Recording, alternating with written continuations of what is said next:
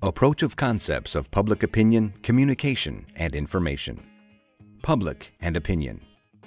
With the rise of the term public in the 18th century, the concept of public opinion gained credence. The English term public opinion dates back to the 18th century and has derived from the French l'opinion, which was first used in 1588 by Montaigne.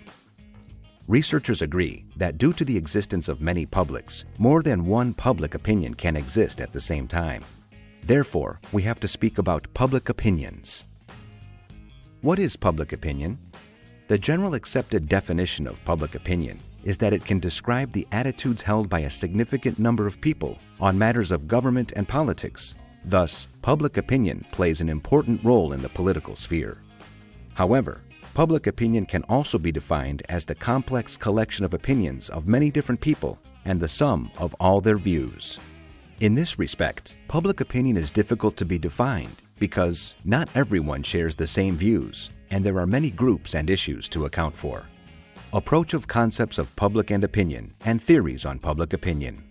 The study of the public opinion process in social science literature often includes psychological, attitudes and beliefs, social, group discussion and norms, and political, elite perspectives presented in the media, components. Adam Smith, one of the earliest classical economists, refers to public opinion in his Theory of Moral Sentiments. However, the philosopher Jeremy Bentham was those who fully developed theories of public opinion. He brought in utilitarian philosophy in order to define theories of public opinion, and he highlighted that public opinion had the power to ensure that rulers would rule for the greatest happiness of the greater number. In the early 1900s, Walter Lippmann painted a pejorative portrait of the public, being seen as one that was unable to process information deeply or to behave rationally. The idea was developed in his books Public Opinion and The Phantom Public. Moreover, John Dewey's Aristotelian perspective emphasized the supremacy of public opinion as the best safeguard to democracy. Dewey, in his seminal work The Public and Its Problems, argued that structural changes were needed the essential need is the improvement of the methods and conditions of debate, discussion, and persuasion. That is the problem of the public. Dewey's thinking reflected a profound concern with improving how citizens learned and how they could reach their fullest potential, advocating the use of logic. German social theorist Jürgen Habermas contributed the idea of public sphere to the discussion of public opinion. Thus, in 1962, Habermas introduced the concept in his book, The Structural Transformation of the Public Sphere. The public sphere, or bourgeois public, is, according to Habermas, where something approaching public opinion can be formed.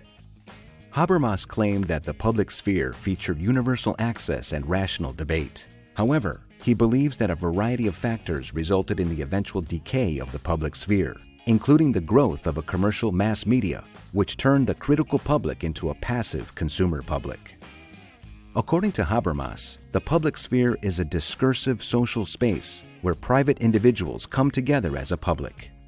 In this space, the public, all citizens, has an unhindered access to information. It facilitates the maximum public participation, and people can freely debate the key social and political issues. Consequently, these practices promote the participatory democracy separate from the public authority which is embodied in government and state institutions. The American sociologist Herbert Blumer has proposed an altogether different conception of the public. According to Blumer, public opinion is discussed as a form of collective behavior which is made up of those who are discussing a given public issue at any one time. Given this definition, there are many publics. Each of them comes into being when an issue arises and ceases to exist when the issue is resolved. According to cognitive psychology, the reality perceived by the natural capacity of each individual is modified by the group's opinion. The perception of reality by the individual is thus modified by the opinion of the group that influences the individual's ability to perceive and thus causes the individual to modify his own perception in favor of that of the group that influences him. This perspective has been largely embraced by various authors like Joye, who suggest that events in general are a media construct which relies on the large coverage and therefore the public recognition and acceptance. Communication and public opinion. Communication has received less attention as a central variable of the public opinion process. Price and Roberts divide the public opinion process into interlevel relations among individuals, groups, and organizations over time. Communication is central to the process, even at the intrapersonal level, where the relationship between cognitions and behavior can be conceptualized as a continuing dialectic. According to Price and Roberts, information obtained from both media and social sources is integrated with old information as public opinion evolves. Individuals incorporate new opinion-related information with old cognitions, selecting which new ideas to incorporate and which to dismiss or ignore. Information, news media, and opinion. Within the last decade, the way information and communication technologies have evolved and the way people use them deeply change our means of communication and public opinion. Moreover, for centuries, the media has developed a considerable power over societies and different groups, regardless of their education, wealth, or status, influencing people's thoughts, perceptions, or actions, and therefore shaping public opinion. The media offer the same information to a large number of people, which translates into the sharing of one-side opinion by the greatest number of people, which tends to provoke the noble effect called by Elisabeth Noelle-Neumann as the spiral of silence. This means that people begin analyzing generally accepted opinions in public space and avoid expressing an opinion that would place them on the margins of society. Thus, when the media favors a certain opinion, most people will embrace that perspective and will be less and less willing to express their own if this one is different, believing that they are alone in thinking so and leaving the place to the mediatized information. Relevant information often is delivered via mass media, which simultaneously act as a channel for information dissemination as well as another filter within the public opinion process. Media outlets choose between many options when determining precisely which issues to cover. The direct impact of the media filter is that those who are exposed to this selected information have the opportunity to obtain more knowledge about an issue. Some authors characterize the role of the media as being a virtuous and constructive one for bringing citizens closer to each other by enabling the sharing of information on both good and bad things, the dissemination of knowledge, and the participation in joint initiatives.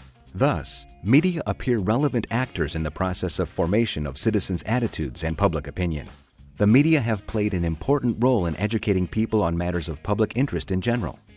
Media can make significant contributions to information flows and play an agenda-setting role. Media can promote a model of shared responsibility in which citizens are encouraged to play an active role in the production and sharing of information, this being mainly seen within the last years via social media. The role of the news media has shifted from gatekeeping to gate watching whereby they publicize and share relevant news content rather than focus solely on its production. Social media can also facilitate multi-directional information flows. So, what is public opinion? Perhaps public opinion's most simple definition is citizens' attitudes about political issues, leaders, institutions, and events. From the examination of some theories on public opinion, it is clear that no generalization can be made on the role of public opinion the public opinion asserts itself differently from one democracy to another. Moreover, theories of public opinion have always been relevant to the field of mass communication and information, the means of mass communication playing the central role of both formation and expression of public opinion. The news media focus the public's attention on certain issues, leading many people to form opinions about them and making possible for public opinion to encompass large numbers of individuals and wide geographic areas.